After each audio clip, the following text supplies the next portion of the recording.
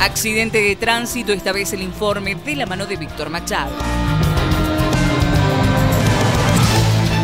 Momento de graficar en punto de noticias accidentes de tránsito, concretamente uno en particular que ocurrió el pasado fin de semana, más precisamente el sábado 22 de febrero, en esta esquina que está aquí a nuestras espaldas,